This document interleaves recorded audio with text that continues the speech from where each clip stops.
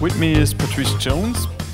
Pattrice is the co-founder of the Vine Sanctuary, and over the years, Pattrice has played a role in different movements such as the peace movement and the LGBTQ liberation movement. And in her presentation today, she will explain the intersectionality of the oppression of women and non-human animals, and argue that understanding this link is essential to building a consistent animal liberation movement. Is that correct? Sure. then, uh, thank you very much. The floor is yours. Merci.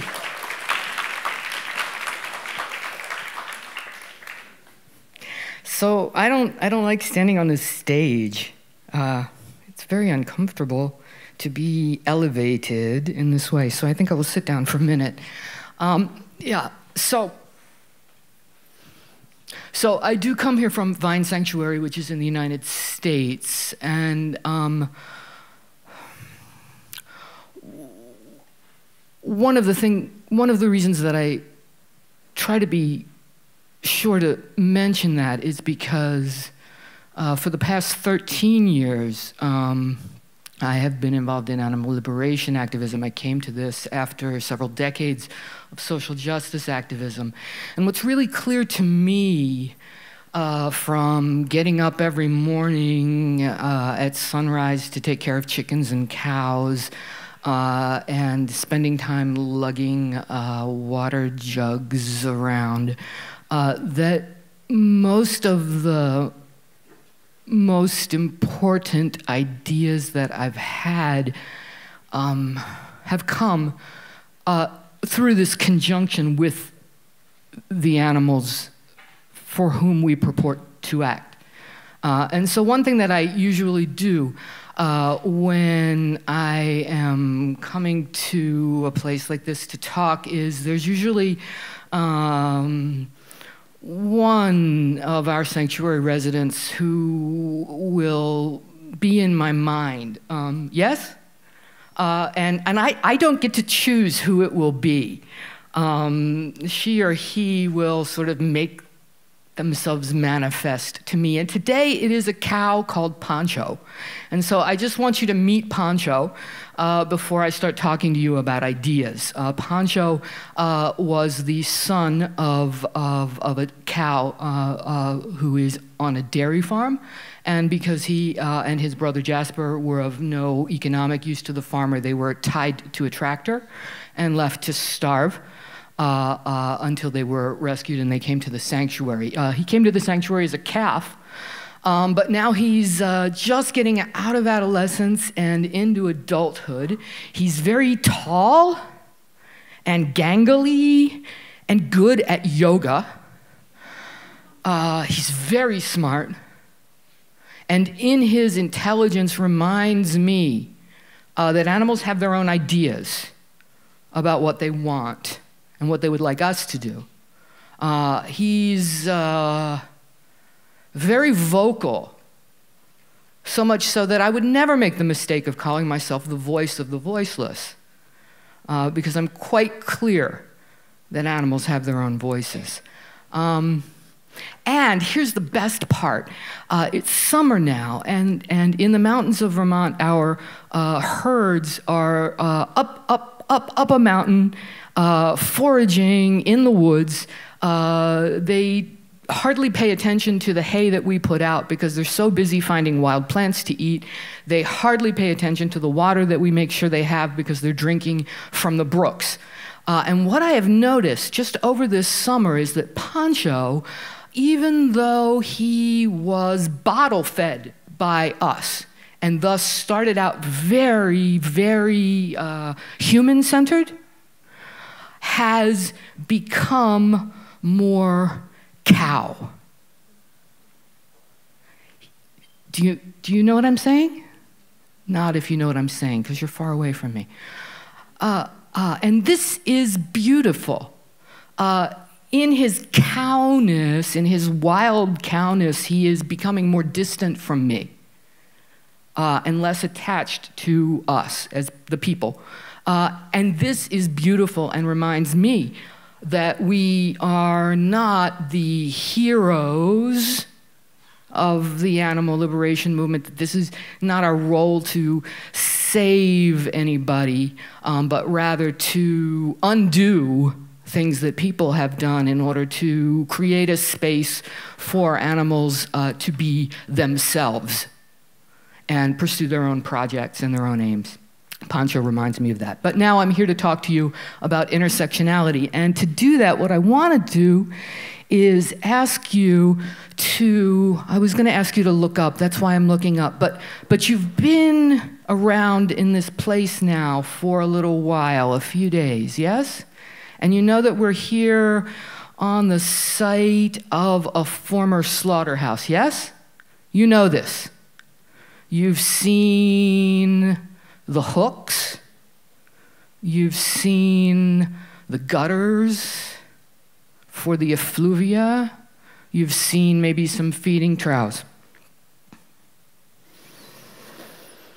And I'm drawing your attention to where we are right now because the first thing that I need you to understand is that the exploitation of animals, the abuse of animals, always takes place in particular places.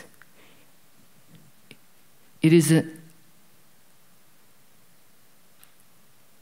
an actual, real event that takes place in particular places. And these particular places are always part of both social and material ecologies, systems, ideological systems, biological systems, yes? This particular place, when it was a functioning slaughterhouse, uh, existed within a particular economy of animal exploitation. Some people were making some profit from it. Uh, uh, it existed within a particular social circumstance. People who had certain ideas about animals, about food, about each other were the ones. The ones who farmed, so called, the animals, the ones who killed the animals, the ones who cut up the animals, the ones who ate the animals. All, those people were themselves part of social ecologies.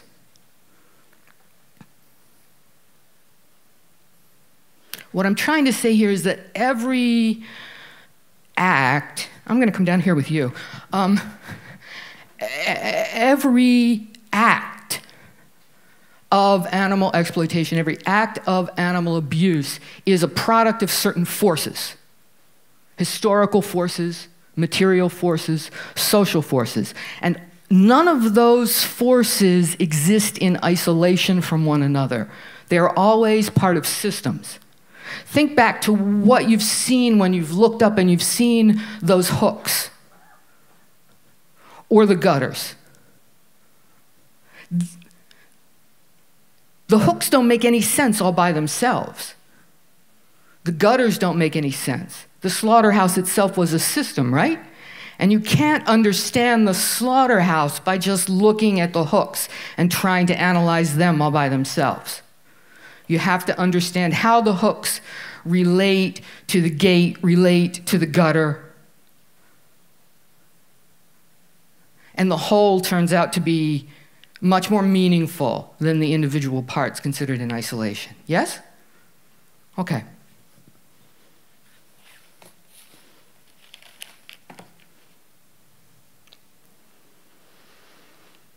And that system then also existed uh, within other systems, as I said, the economic systems, the social systems. So that's why I'm here to talk to you about uh, intersectionality, which is a conceptual tool, a very useful conceptual tool. Intersect, what do I mean by a conceptual tool? Um, trigonometry is an essential conceptual tool if you want to survey a field or build a bridge, right? Well, those of you who understand trigonometry are like, yeah, you totally need trigonometry for that. And other people are like, I guess. Uh, you'll just have to take me at face value. You need to know um, calculus uh, to do certain things in engineering. And if you and, and, and, so that's an essential conceptual tool. So, what I'm here to tell you is that intersectionality, like trigonometry, is an essential conceptual tool for those of us who want to survey the field of animal inequality, and particularly how this might relate to other forms of inequality. And for those of us who would like to build bridges to other movements, which I think we need to do because the other thing you might have noticed is that there aren't that many of us here.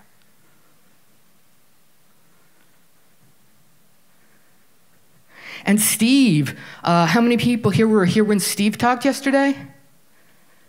Yeah, and he did this wonderful um, job of, of, of communicating to us the absolute urgency of climate change. And, and, and I thought a pretty good job of diagnosing uh, some of the uh, problems that go into that. But then I don't know if you remember that um, uh, then somebody uh, who was right around here raised the question well, okay, so now what do we do? And then poor Steve, he was like flailing around. And I wanted to like say from the back of the room, it's okay, Steve, the feminists are coming.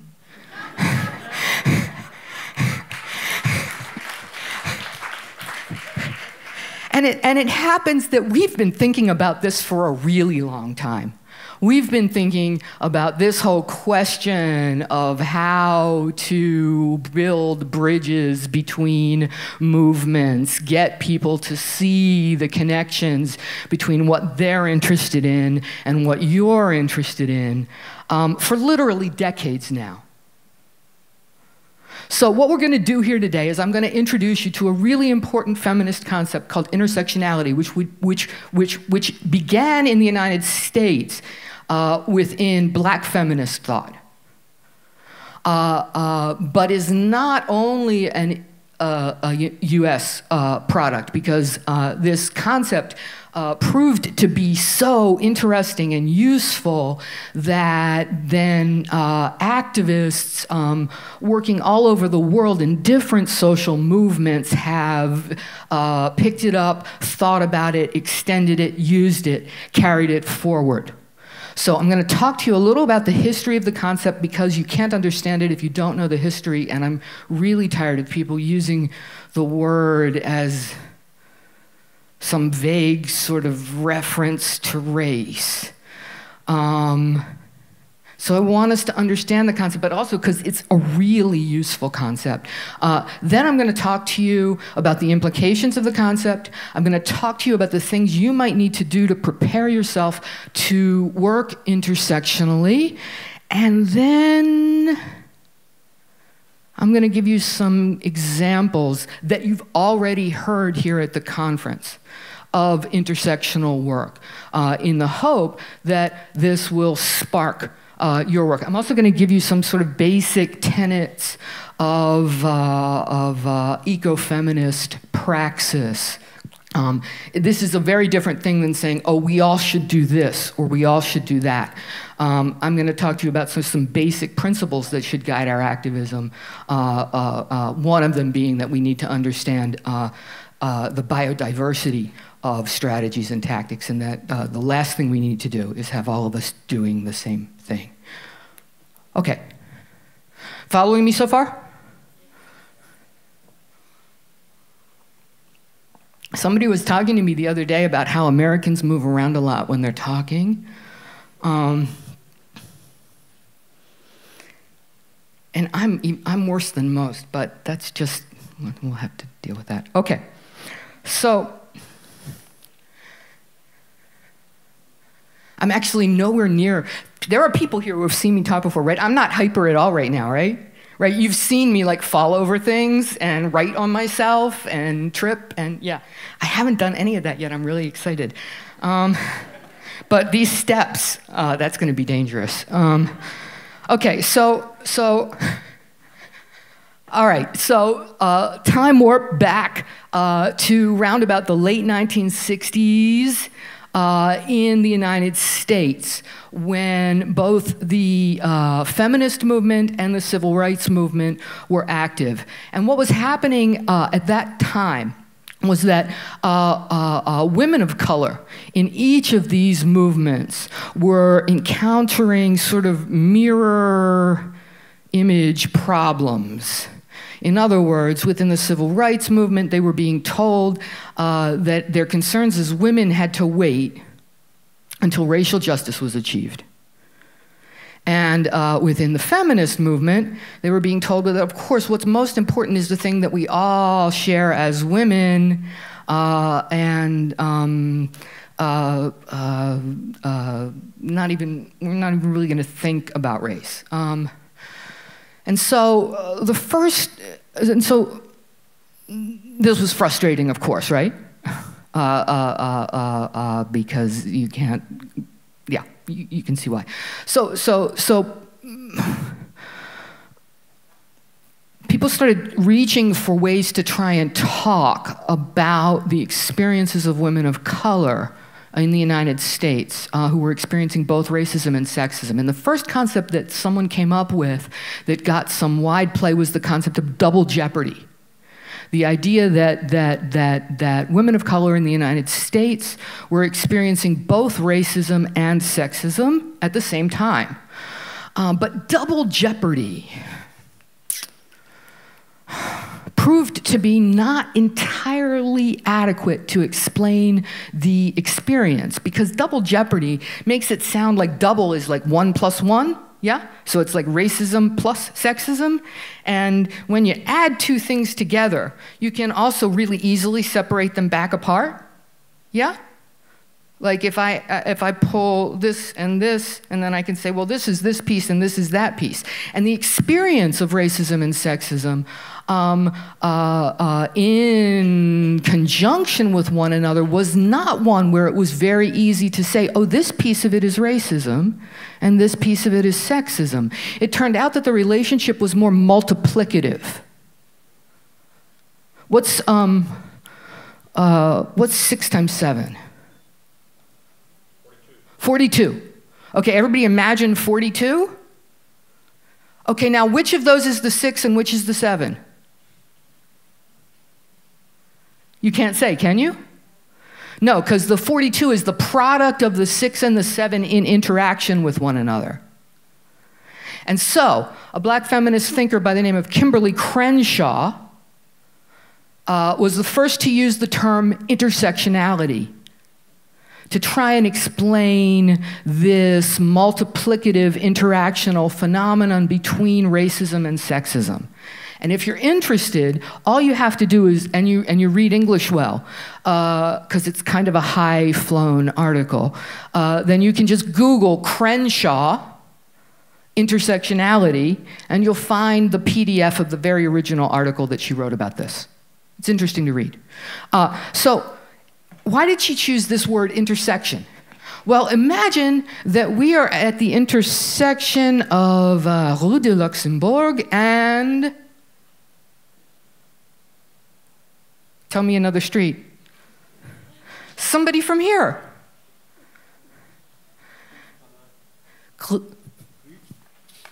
Rue du Canal. Okay, so we're at that intersection. and we're standing right in the middle of the intersection. Which is one street and which is the other? The intersection is the product of both, yes? And sometimes intersections are the products of more than one road, yes? We've all been to those, especially it's dreadful when you're biking and there are cars too, yes? And there are seven different streets coming into the intersection. Wow, that's dangerous. You can have some car crashes at intersections. Okay. So now you see the concept of intersectionality, uh, which started out being something that we talked about with regard to race and gender, but we've since extended to talk about other forms of subjugation because, of course, immediately people started to say, well, you know, it's not just race and uh, class, uh, it's not just race and sex. What about, what about poverty? What about class? Uh, what about immigration status? What about disability?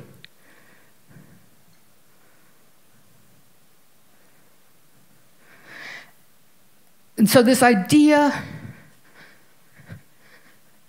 begins with just the understanding that the relationship between different forms of oppression, we'll get to speciesism in a minute, it's definitely in that intersection. Hmm? Uh, but my feeling and the feeling of other people who've thought about this is that it actually is sort of foundational to the other forms of oppression. And if we can understand how that is, and we can talk about how that is,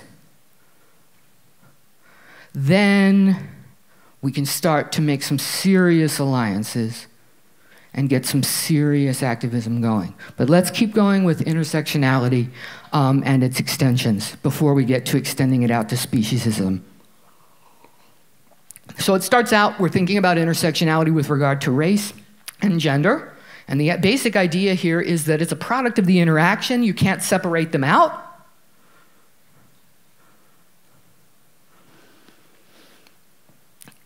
And then as we started analyzing it, we realized, oh my gosh, it's not just that they're interacting in such a way that they can't be separated out. It is also that they support one another. They prop each other up. Huh? The easiest way to see that is with the intersection of uh, homophobia and sexism. So, a woman by the name of Suzanne Pharr wrote a book called Homophobia, a Weapon of Sexism. And this book, by the way, is also free online in PDF form, thanks to Suzanne Pharr. So you can read the whole thing. It was written in the 80s, so it's kind of dated.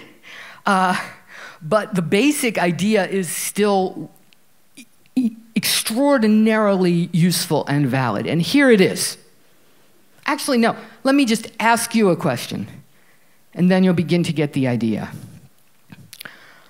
Do you have to be gay to be gay bashed?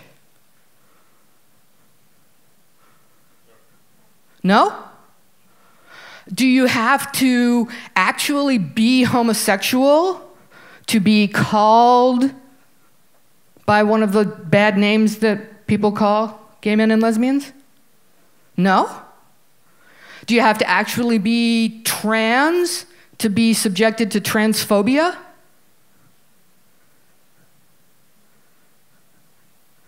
Well, what do you have to do?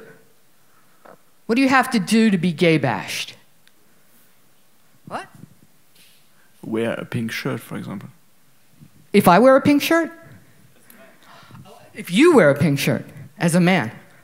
Okay, so it turns out that all you have to do to be subjected to homophobic discrimination or violence is transgress gender norms.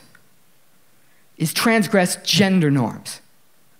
And it turns out then that homophobia is not really about homosexuality at all. I mean, yes, some of homophobia has to do with bias. Some of it has to do with prejudice. Some of it has to do with ignorance. Sure, that's in there. But what Suzanne Pharr led us to understand is that there is a structural function to homophobia. And the structural function of homophobia is to maintain the gender system, is to keep men in their place and women in their place. Make sense? Now, this was very exciting to think about Because now, and this is how it actually happened, before she had that insight, feminists never did any work on homophobia. After she wrote that book, feminists all understood that if they wanted to do something about sexism, they also had to do something about homophobia. Genius. Now you're starting to see where I'm going, yeah? Okay, why it might be very, very, very important for us to understand and be able to articulate the relationship of speciesism to uh, social injustice, and environmental despoliation. I have to look and see what I'm going to say next. Far? Oh, oh, oh, okay. So, another set of ideas that's really useful for you to understand um, that's, that's part of intersectionality. We're extending it out. So right so the first first we're just thinking about race and uh, sex. We start thinking about class. Suzanne pharr comes up with these great ideas about how homophobia fits into the intersections. And now here come some uh, ecofeminists and they're interested in saying how do we how do we work this all out with environment how do we does this link up at all with how we treat the earth or not uh, and not surprisingly, their, their conclusion was, oh, yes, it matters. It links up uh, uh, uh very much so. Uh, and, and ecofeminists have come up with a number of ideas that have been useful to us in thinking through that intersection. Uh, uh, but, but one of the, the, the most useful and the simplest to understand uh, is the idea of the logic of domination. The logic of domination. Uh, Val Plumwood is someone who has talked about this. Uh, Greta Gaard, G A A R D, Lori Gruen. Okay, in a nutshell, the logic of domination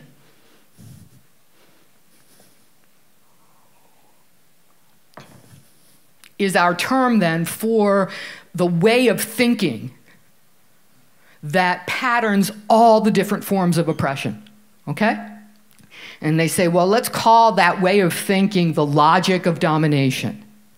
Okay, so, so ecofeminists are not saying we should logically dominate anybody.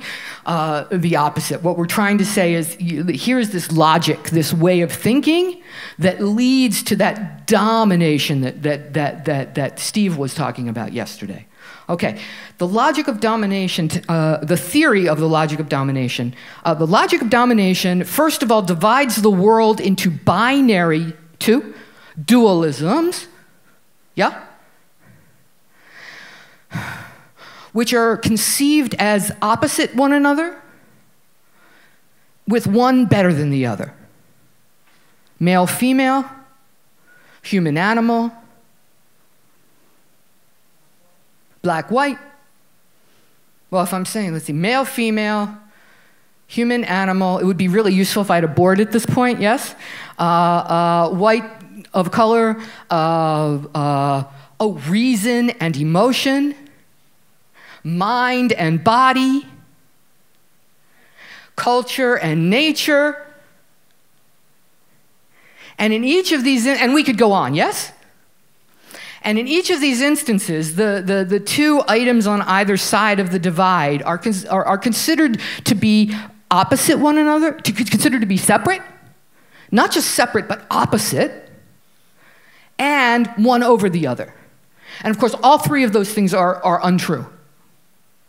Uh, uh, uh, uh, humans are animals. So, how could humans be the opposite of animals? And I'm sorry, um, even, even, even if we didn't know that there are intersexed people, uh, the idea that males and females are opposite one another, males and females of the same species, right? How much of our genes do we share? What, 90? What, we share like 98% of our genes with chimps. Um, and I think with other humans, it's like, uh, what? More than 99% with every other human. So, how in the world could you be the opposite of a being uh, with whom you share? Yeah, you get my point. Um, oh, oh, nature and culture. Oh, that's a great one, right? Uh, we're social animals, yes? It is the nature of social animals to construct cultures.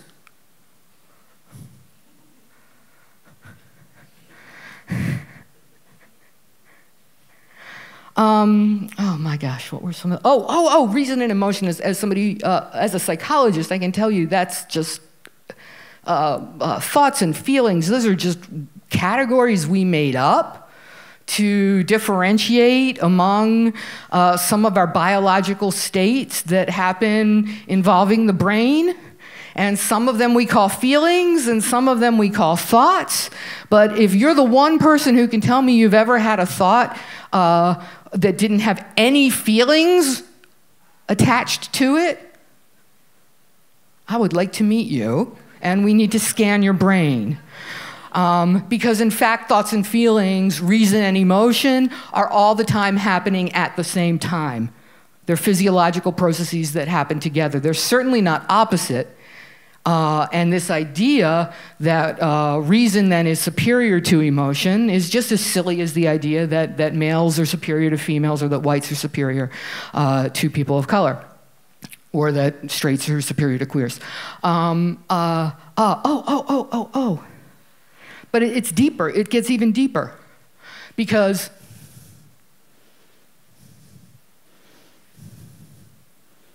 The logic of domination also tells us something about how oppression works. And this is something we need to understand, right? We need to understand the mechanics of something if we're going to fix it. Same thing, to fix a car, you got to know how a car works, right?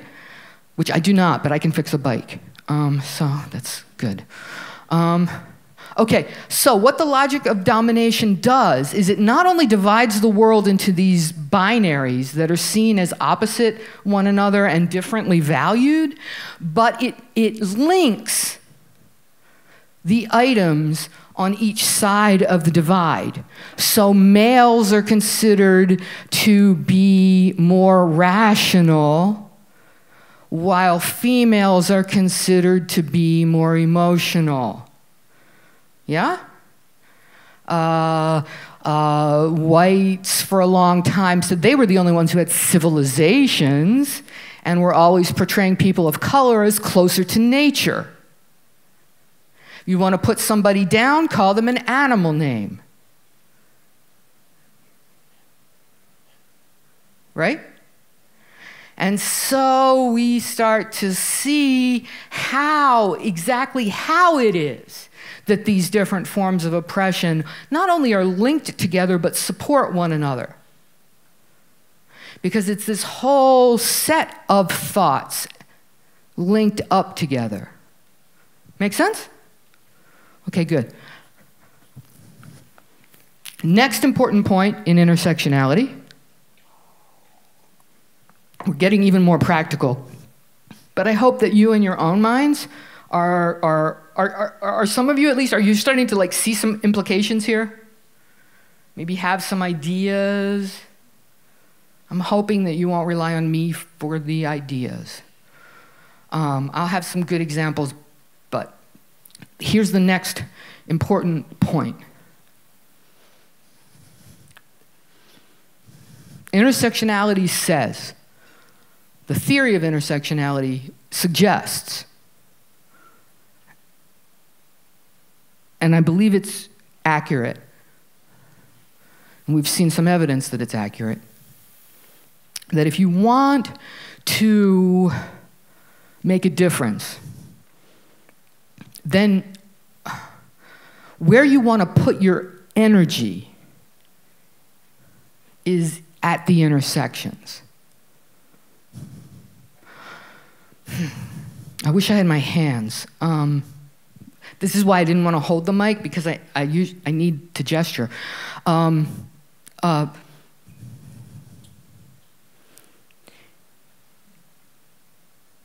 imagine a building that you want to knock down, or even like a chair that you want to demolish. Are you going to hit at in the middle of the leg of the chair or just like randomly hit the wall of the house? Or are you going to go for the joints? You're going to go for the joints, right?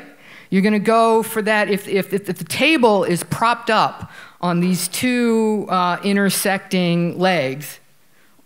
Uh, then you could just bang at this part of the table and then bang at that part of the table and then bang at that one leg. And if that one leg, you knock off a little bit of that one leg, but then it just falls down a little, but the other leg keeps it propped up.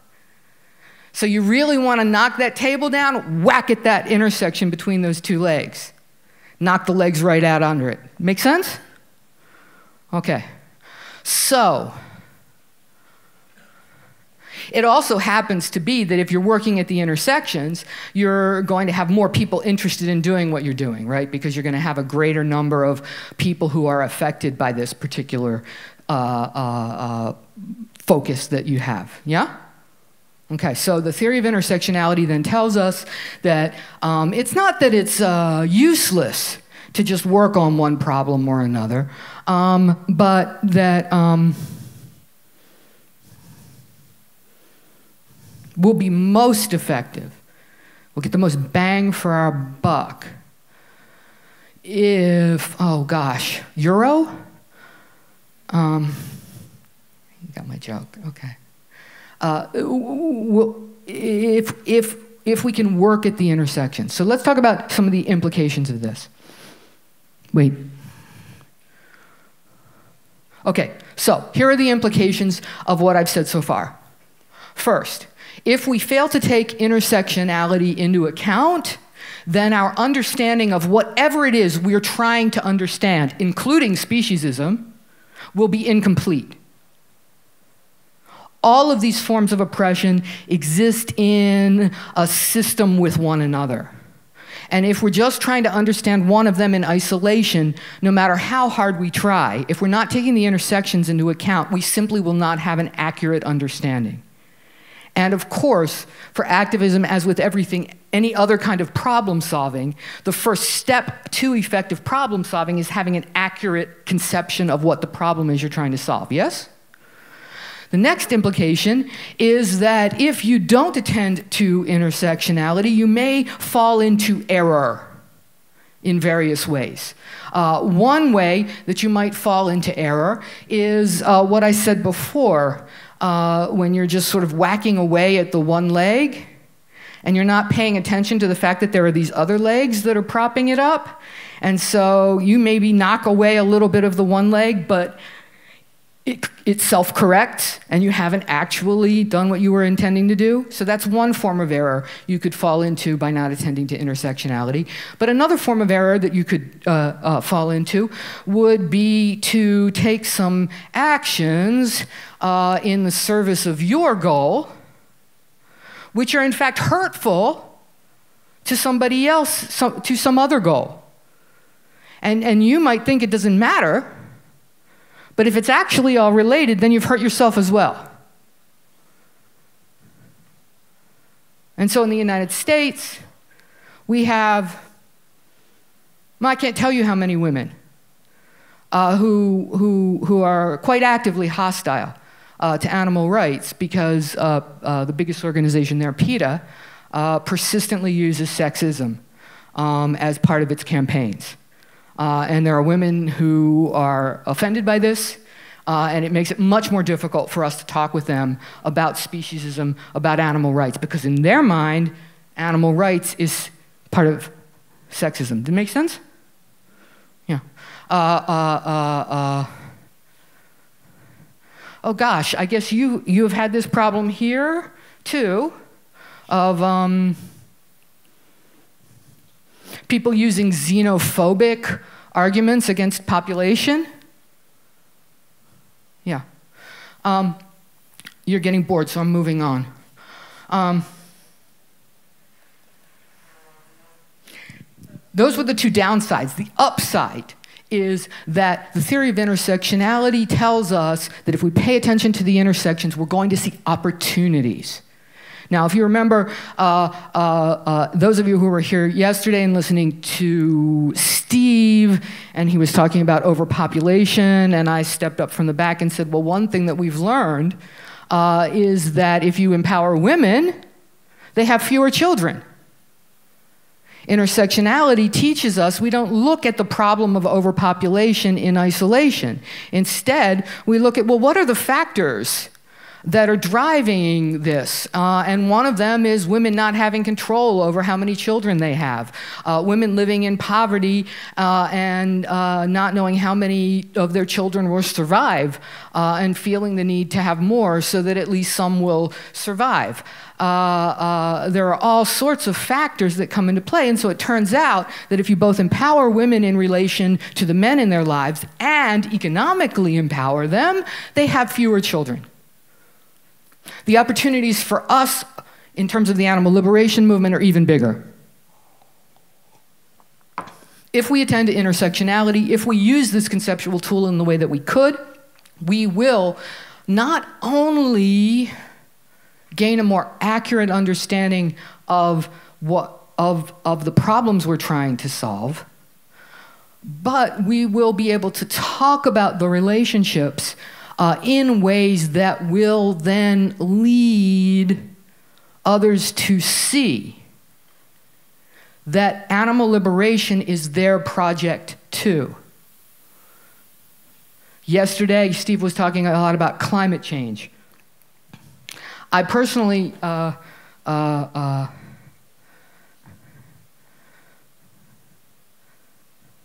in social justice movements, we, we joke about the oppression Olympics. The oppression Olympics is the, you know, my problem's worse than your problem, or we all should work on this because it's the worst problem. And I'm starting to see some oppression Olympics in the animal movement too. Please don't do that. Uh, it, it's, it's really not helpful. Um, but you know what? If there were a winner to the oppression Olympics, if there were one thing that we, we could be said we should drop everything and work on, it would be climate change. Uh, uh, uh, which is affecting far more animals than anything at the moment. Um, and the point is that with climate change, there is this new movement, the environmental justice movement. How many people have heard about environmental justice? Lauren talked about it yesterday some. Okay.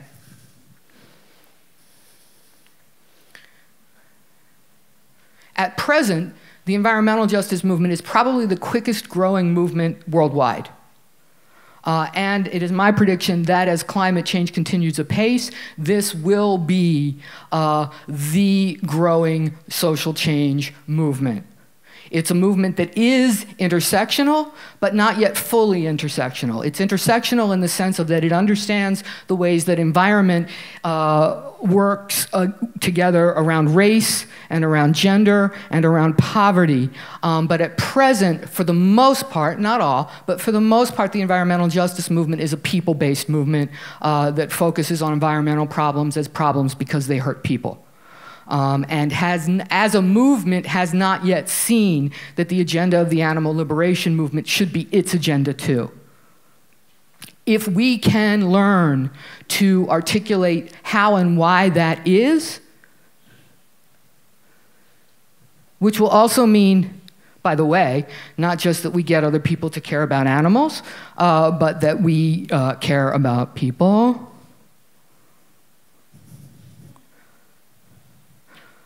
Then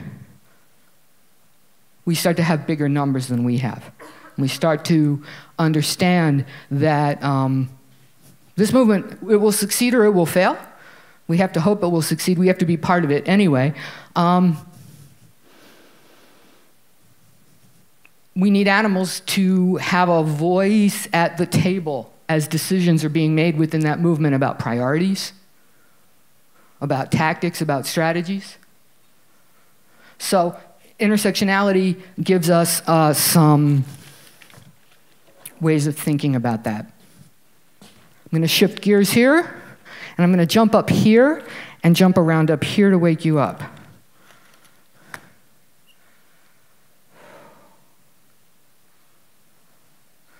Okay. Oh, I hate being up here. No. No, I'm coming back down. Um, okay, Watch the steps. Um, have I convinced you that intersectionality is a useful conceptual tool? Okay, so then the question becomes how do you do it? So, our next, the next part of our program will be me telling you uh, some of the things that you can do to build your own capacity for intersectional thinking. Um, uh, sometimes when I'm speaking, I, I, I, didn't realize it for a long time until recently a young activist, she was talking to me and she was like, oh, well, Pattrice, you know all these things. I'm like, well, I don't just magically know them. I wasn't born knowing them. I did things that led me to know them. So I'm going to tell you some of the things that you can do uh, uh, to learn to, to, to, to, to use intersectionality. Now, you're going to have to make an affirmative effort to do this, and I'll tell you why. Uh, uh, uh if you went to school here in, in Europe, or if you went to school in the United States, then you were schooled within the logic of domination. They may not have taught you that males were superior to females. They probably did imply that culture was superior to nature. They certainly implied that rationality was uh, superior uh, to emotion. And they taught you to think about problems by abstracting them from their context in order to look at them more clearly. Yes? You learned, and this works very, very, very well for certain kinds of problem solving.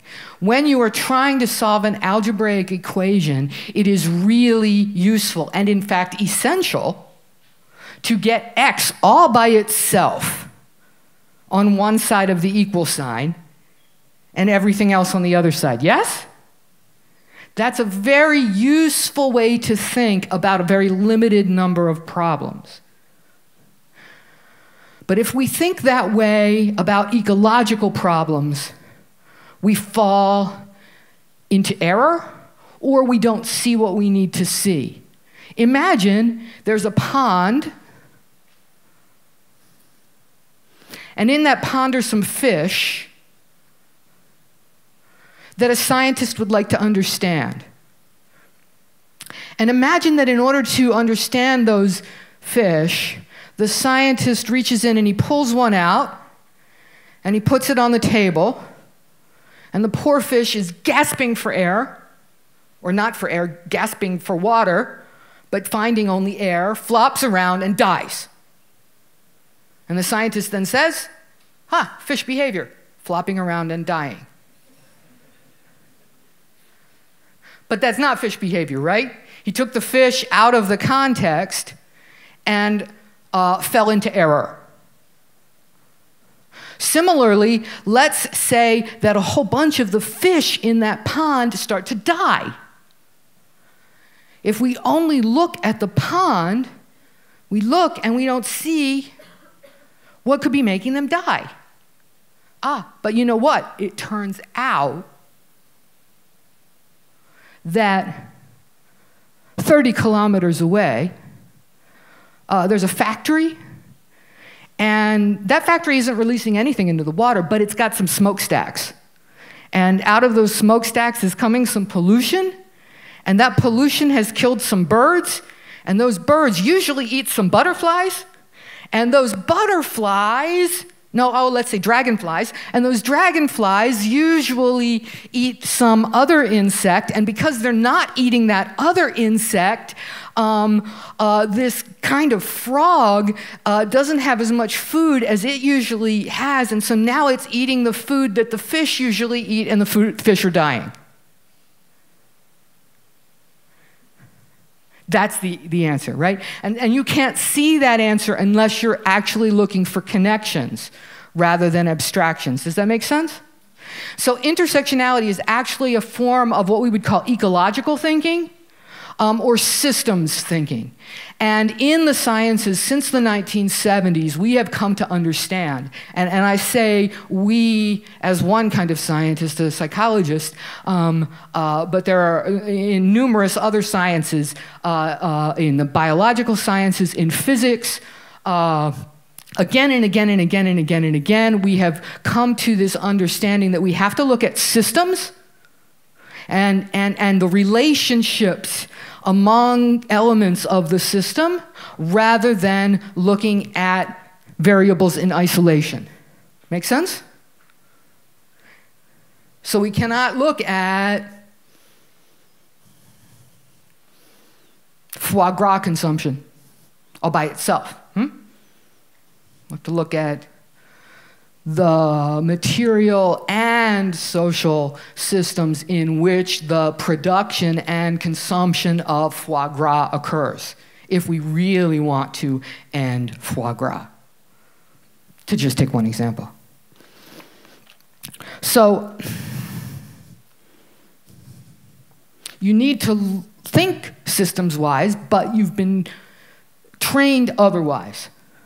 And so this means you will have to make, if you haven't already, and I, I, I, do not mean to be disrespectful to anybody who's already been thinking ecologically, um, but for many of us, we have to make an affirmative effort to learn to think relationally rather than abstractly, to learn to think contextually rather than abstractly, to learn to think about systems and the relationships within systems, and then the relationships of systems to one another. And this is hard work. Um, uh, oh, I'm going to get to the happy part at the end. Um, this is hard work. It's satisfying work, though, right? I mean, isn't it great when you like understand something that you didn't used to understand? You get that little burst of brain chemicals that makes you feel really happy for a second. So, you know, it's hard work, but it's it's it's it's rewarding work and it's essential work. So, what do you need to do? One, just be aware that you're going to need to start thinking uh, systematically, intersectionally. If you haven't learned much about ecology in the past, um, it might be time. If you haven't heard of systems thinking before, you might want to look it up on Wikipedia.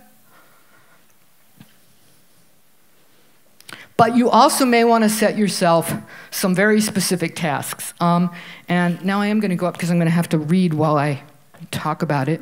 Um, here's what I did. Oh, I didn't even tell you who I am. I, just this vague reference, right, at the sanctuary and social justice work, right? Okay, I started doing social justice work in the 1970s as part of the gay and lesbian movement, uh, uh, uh, uh which was actually the same year I quit eating meat. I didn't know at the time they were linked. Um, and then there did come a time where I worked for several years at the Ella Baker Nelson Mandela Center for Anti-Racist Education, uh, which uh, is in, uh, was in uh, Michigan in the United States and which worked from uh, intersectional perspective.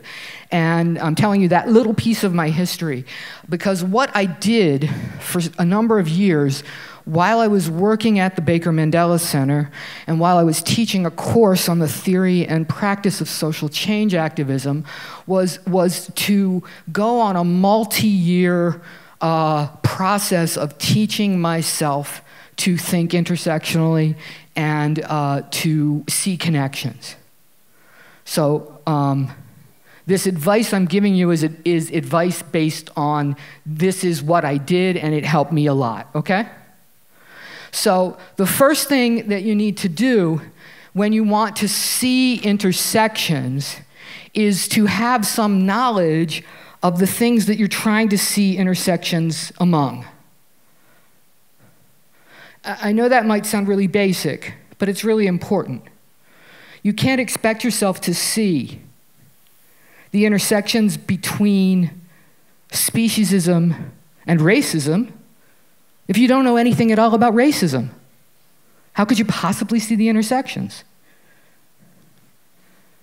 If you've not educated yourself about whatever it is that you're trying to understand, and, and, and you would like very much to talk to people about how animal liberation relates to this thing that they care about, well, how are you going to do that if you don't know anything at all about this thing that they care about? So you have to educate yourself. And I know you can do that. Uh. I know you can do that because I know that none of you learned about foie gras in school, and yet most of you can probably tell me in the most horrific detail exactly how foie gras is produced, right? Uh, those of you who work on vivisection issues can tell me the most horrifying things um, and the most detailed things about research protocols because you took the time to learn them. Same thing with animal agriculture, any other uh, issue. Uh, and so, what I'm here to tell you is you may need to learn, in fact, you will need to learn about things that seem to be not about animals, but are in fact part of this system of domination that works together to create the circumstances under which animals are exploited and their habitats destroyed. So you may need to learn things about race. You may need to learn the mechanics of capitalism if you don't know it already. So educate yourself. Next, this is the fun part. Set yourself some tasks. This is what I used to do. I would just sit down and I would say, okay, today I'm going to think about the intersection between sexism and prejudice against people with disabilities. And I'm, gonna, I'm just going to figure out everything I can about that intersection. I would set myself these little tasks. So here are the little tasks you can set yourself. First, you can pick a problem, like um, hunger or zoos. And then think as hard as you can about where there might be not just speciesism, but other forms of oppression, huh? If you're thinking about hunger, oh my gosh, you'll find out things about gender. If you're thinking about zoos, then maybe you'll learn the history and learn that they were imperial products. You'll learn that people of color were held in zoos. You'll, you'll, you'll learn the political purposes of zoos. You'll learn the ideological purposes of zoos. You'll, you'll figure out that zoos are all about that logic of domination, all about saying, we're so powerful as people, we can create a savanna in Sweden. We can create an Arctic climate in the Mediterranean. That's how powerful people are. And suddenly you'll be able to talk about zoos so much more richly with so many more people in ways that will captivate and interest them. And you might find yourself starting to care um, uh, uh, uh, about uh, uh, other pieces of this. So, picking a problem and just saying, what are all the different intersections I can see? Another thing is to pick a particular practice, like the practice of locking people up in prisons or abstracting calves and milk from dairy cows and figure out how, what are all the different intersections you can see in that one thing? Does that make, do you hear what I'm saying? Okay. Another thing is you could pick a particular intersection. You could say, okay, well, I want to think about how speciesism and sexism relate, and then really sit down and think it through. And if it turns out you don't know enough about sexism to think it through, uh oh, time to go read a book.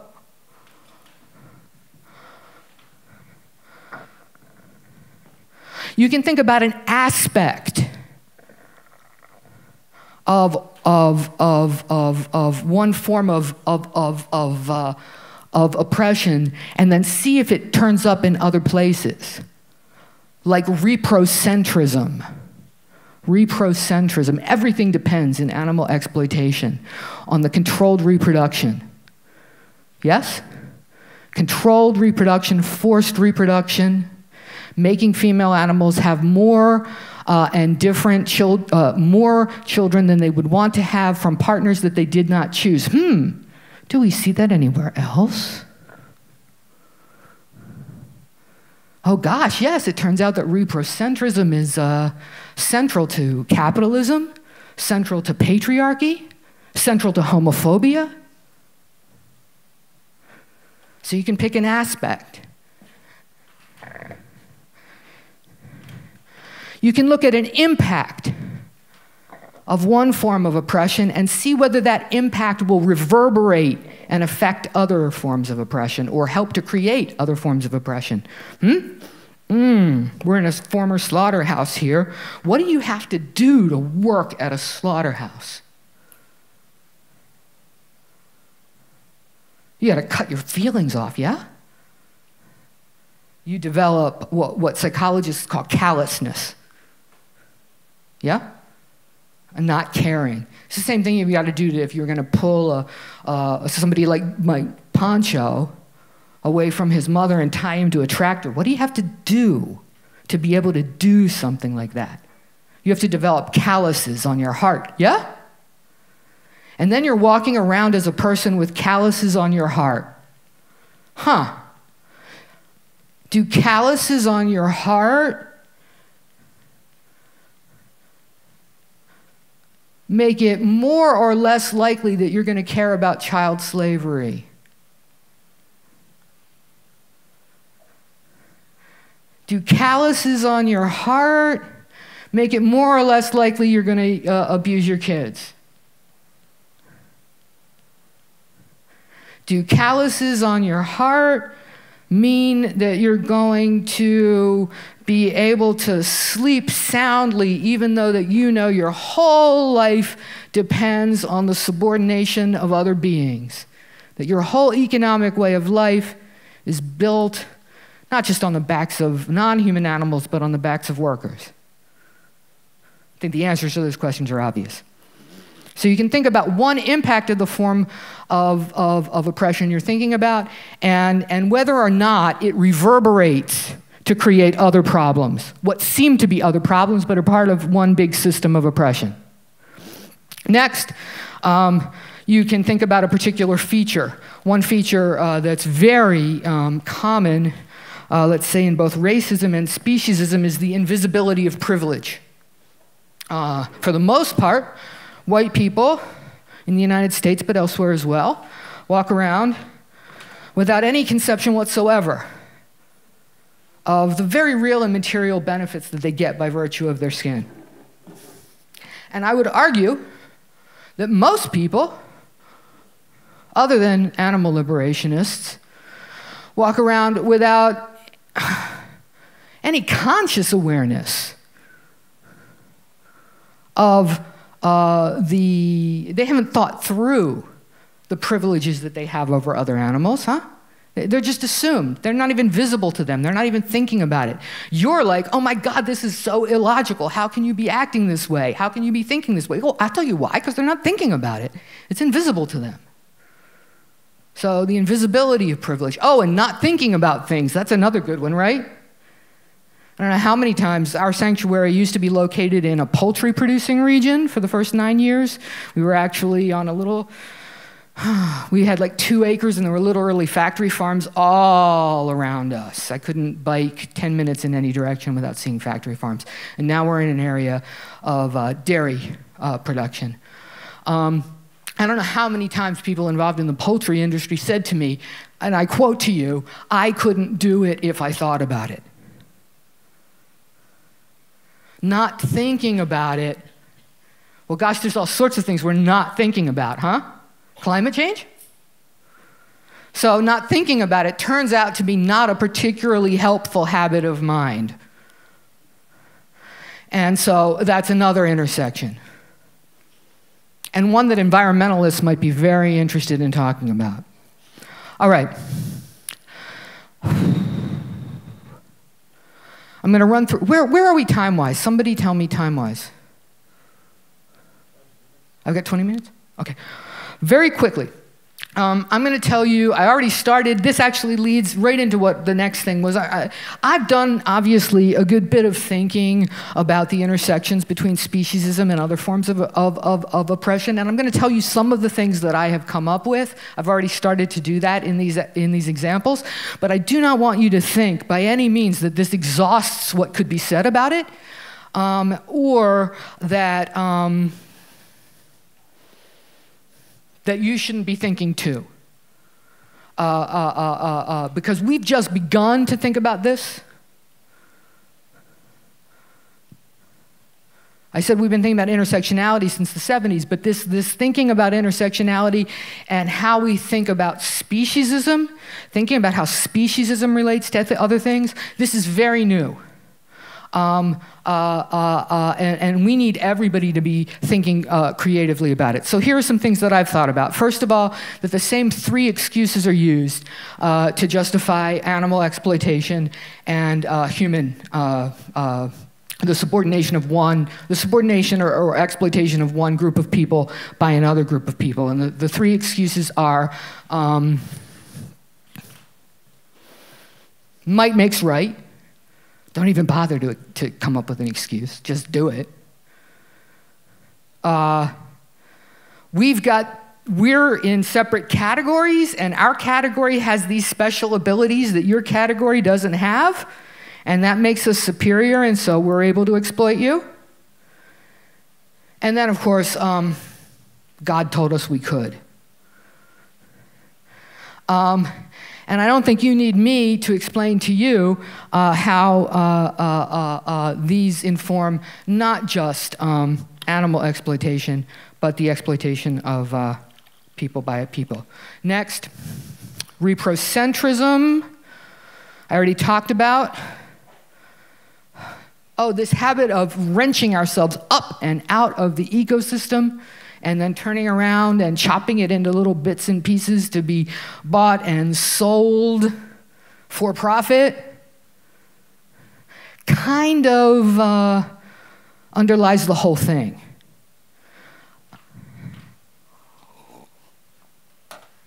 Mm. Invisibility proof, not thinking about callousness.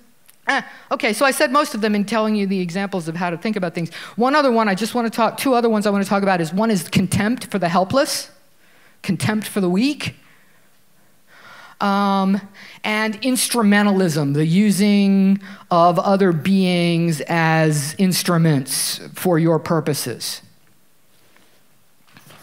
Y'all are doing so well at like dealing with a really long lecture. I just want to say thank you very much. Uh, if, if, if, if, if you were my students, we would have broken this up into several half hour classes and had lots of naps and coffee in between.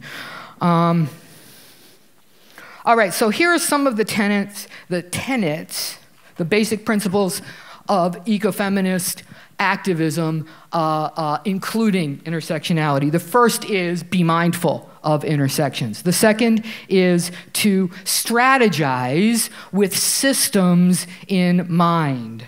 Uh, and what that means is no telling people just go vegan without thinking very carefully, as Lauren Ornelas talked about uh, last week, uh, last week, yesterday, um, about uh, who has access to food where the food comes from.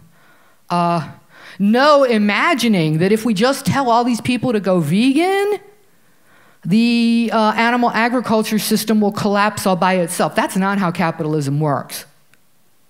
Capitalism is a really important system that we have to pay attention to here. And how capitalism works is that if you convince some consumers to quit consuming something, they just use advertisers to get other consumers to consume more of that thing. And so, for every person that we've convinced not to drink cow's milk anymore, there's a person over here who is now buying Greek yogurt, which takes twice as much milk as other kinds of yogurt. Did you think it was an accident that the Greek do you have the Greek yogurt fad here, or is it just in the United States? The United States, there's this huge fad for what they call Greek yogurt. It happens to take twice as much milk to make. Um, they also load cheese into all sorts of things. So that's how capitalism works. Um, when possible, work at the intersections. And I'm going to give you some examples in a minute.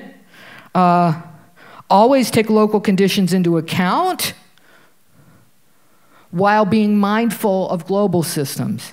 And if you're working on global systems, you're still going to be doing it in a particular place and you have to take those local conditions into account. It is not true that things that some United States psychologists learned by studying US college students will be applicable to how you talk about veganism to people in other places.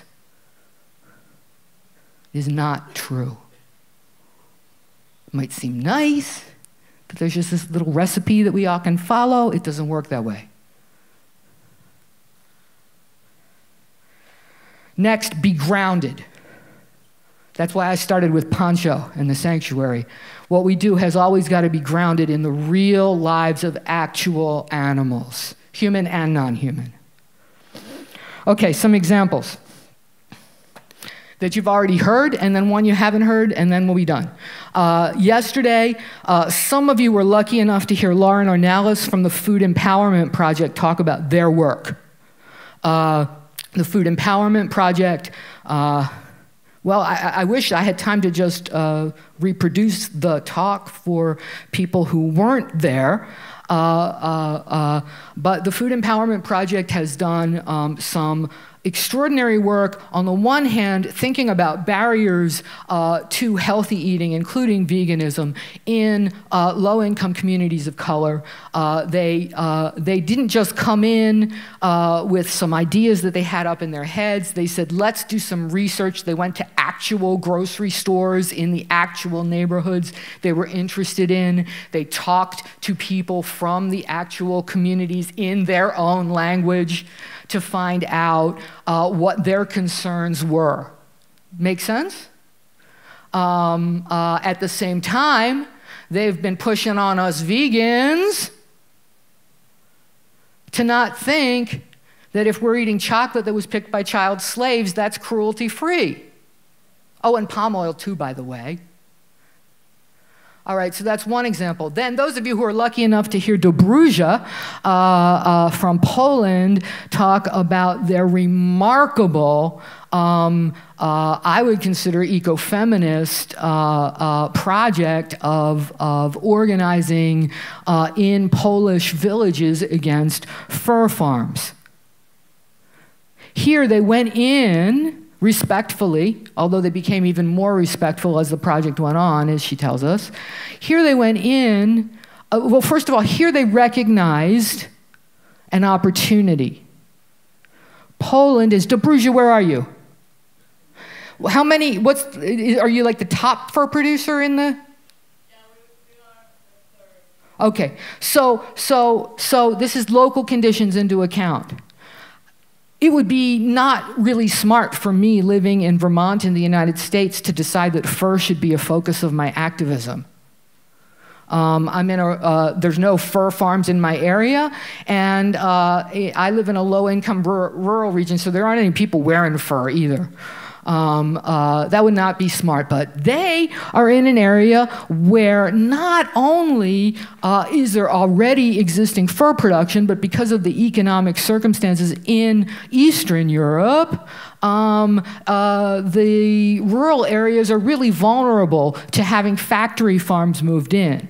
Um, uh, as Lauren was pointing out uh, uh, yesterday, uh, environmental injustice means that factory farms and other polluting industries are much more likely to be located in low income communities. in the US, that's communities of color, particularly. I'm guessing here in Europe, we're looking at Eastern Europe uh, as where we're going to really see a push to, to, to put in new factory farms. Uh, so, so, so they knew that they had an opportunity to work. They went and, um, and, in, and and I'm sorry because I'm trying to say in a sentence what you did a whole presentation on, but essentially what they did was empower the villagers and those of you who are from rural areas know uh, there's prejudice against rural people, yeah? Uh, from city people. And in, in, in capitalism, most decisions are made in the cities. Uh, and a lot of times, uh, rural people, particularly poor and working class rural people, don't have a lot of political power. And so, what they did was give political, give skills and tools, share, not give, share skills and tools with villagers while at the same time educating them um, about the fur farms. And the folks decided, hey, we don't want this. And so it wasn't animal rights activists blocking the fur farms, it was the villagers themselves blockading the roads, elderly women manning, uh, staffing the blockades to keep the fur farms out. That's what happens when you look at when you can work at the intersections where you can see, well, look, here are some folks, uh, and yeah, they should be concerned about the fur farms for environmental reasons, and we're concerned about them for ethical reasons. But these folks are also disempowered because of their um, uh, economic class.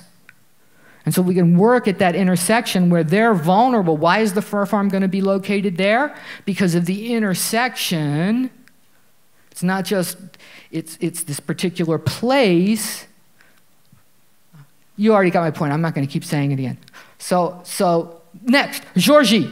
If you were here, if you if you listened to Georgie's talk um, about uh, Brazil, uh, then uh, you heard how uh, uh, his organization is working in genuine and sincere alliance with indigenous people in opposition to a dam that is likely to flood, that if it is built, will flood an area as large as this whole country in the Amazon. Uh, and, and, and, and if that dam is built, then uh, uh, uh, so many animals will suffer, yes? And so many people will suffer. And so this is an intersection, and they're working at that intersection. And they've, if, if you were there, you saw crowds that those of us who are animal advocates in other places could only hope to ever uh, summon up for a protest. Uh, these are just a few examples. Um, I, I, have to, I, am always getting in trouble for not um, promoting my own organization enough. Um, because I'm so busy talking about the ideas that are interesting to me. So I just want to tell you that our organization, Vine Sanctuary, originally Eastern Shore Sanctuary, was the first to figure out how to rehabilitate roosters uh, used in cockfighting. Um, which of course we wouldn't do if we were just going by numbers of animals oppressed, because it's not a really large number of animals uh, that this happens to, but I still think it's worth doing. Um, uh, so uh, basically, what happened, how much time do I have? Seven minutes. Without questions. Oh my gosh. All right, so you can go and read about it. Too bad, because I was going to act out roosters. Um, Uh, uh, basically what we figured out we, we, we, we, the very first bird that we rescued we thought was a hen and then turned out to be a rooster. Um, and this then led us uh, to start thinking about the stereotypes that people have about hens and roosters. And this then led us to understand uh, something very important about the intersection between speciesism and sexism, which is that people use animals as part of the process of socially constructing gender roles. People in storybooks and cartoons and movies and in activities like cockfighting uh, map their gender roles, their ideas like males are aggressive, onto animals. And then either trick or force the animals into acting out those stereotypes. And then they point to the animal and say, well, animals do it, so it's natural.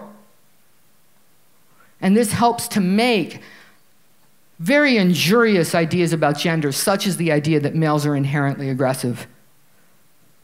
Now, I know that we feminists are always uh, charged with being um, anti male. So I'm always amused to be the person who figured out how to help these roosters. Um, and, and it was because I do not believe the stereotypes about males. Um, and so we figured out that these birds were fighting because they were traumatized. These birds were not fighting because they were aggressive, they were fighting because they were terrified. And they were terrified because of the things that people had done to them cutting off their combs, raising them in isolation, injecting them with testosterone and methamphetamine, attaching knives to their spurs. And then when they try to run away, throwing them back into the fight again. So we figured out, and when those animals did come to us, yes, they did try to fight. Not just other roosters, anybody they saw. Songbirds flying by. And we put into place um, a program which you can read about online if you visit our website. Uh, we were the first, and now other people do it as well. Um, but along the way, we thought and we talked about gender. And talking about these issues, I can tell you, I don't know how many times I've been invited to talk to feminist audiences about animals, about the roosters. And guess what? While I'm talking to them about that, I also mention, um, oh, I don't know, what happens to cows. And the next thing you know, all the women in the audience are like holding their breasts um, because I'm asking them to imagine what would happen to them. And the next thing you know, they're telling me they're going to quit milk. So that's the power of intersectionality. Um, and I have to end on a happy note. So, because I really am hopeful, because I choose to be. So here we are. We're in a former slaughterhouse, yes? Former. And, and I'm not going to pretend that it was animal liberation activism that made this be a former slaughterhouse. I understand that um, this is not the first time I've been in a meeting in a former slaughterhouse, and I understand that slaughterhouses used to be located in cities, and then people became uncomfortable with that, and they got relocated out to rural areas, and that's why this is a former slaughterhouse. But nonetheless, the fact that this is a space in which animals used to be killed and now it's a space where we're talking about how to liberate animals. This needs to remind you not just that change is possible, but that the absence of change is impossible.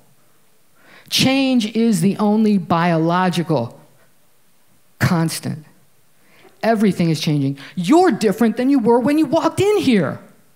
Like while you were here, your breakfast became part of your body and, and, and you shedded some skin cells, and plus now you maybe know some things you didn't know, and, and, and the things you've heard me say are actually now your neurons in your brain is different than it was before. Change happens constantly. The only question is what direction is the change going to go in? And we get to help say how that will happen, and we will be much more effective in doing so if we pay attention to these things that I've been talking about. The other thing that I notice in this place, have you noticed there's these vines that are growing up all around the buildings? Yes? Yeah? All right, so this reminds me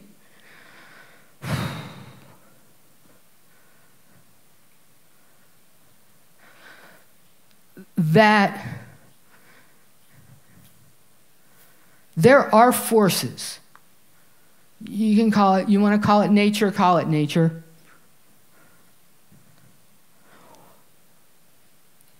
Way more powerful than any guns or government ever could be.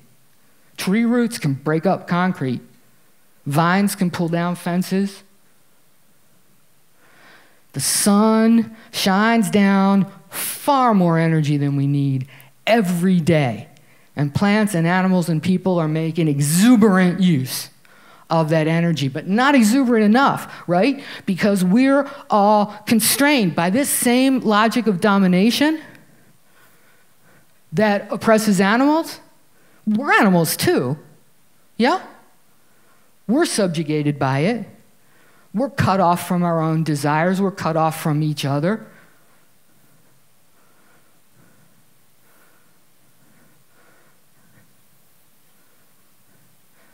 Do you know there's some countries uh, where uh, homosexuality is illegal? You know that, right?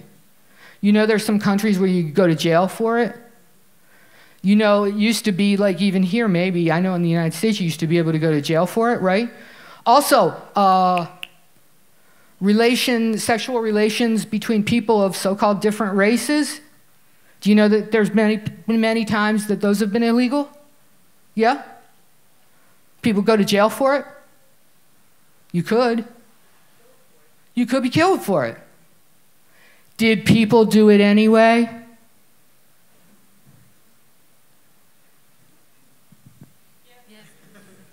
A lot. You know why? because that I don't know whether you want to call it love. I don't know whether you want to call it eros. I don't know whether, whether you want to call it reaching for connection. That impulse in you is there. You were born with it. It's your strongest natural resource, and I'm here to tell you it's a renewable source of energy. Um, and it's way more powerful than guns and governments. And what it reaches, what it tells you to do is make connections to other people. And I'm not just talking about like getting lucky. I'm talking about, I'm talking about real meaningful connections with other beings. Other people, yes, but other animals, yes. Ecosystems, yes. You have that impulse, it is there, and you want to make connections. You might have been thinking when you were listening to Steve talk, or anytime here, you think, oh my God, this is so big. How can I how can I how can I solve this problem? You can't. We can. And so that impulse that leads you, uh, notice I'm still talking about connections, intersections. That's the whole theme of this, this talk, yeah? So, the more that you understand these intersections, then the more able you're going to be not just to see connections between different problems, but to make real and meaningful connections with other people who will work with you, and together there will be enough of us to do what we need to do. And I think I am out of time now, and I know you're going to want lunch. So, thank you for listening to me.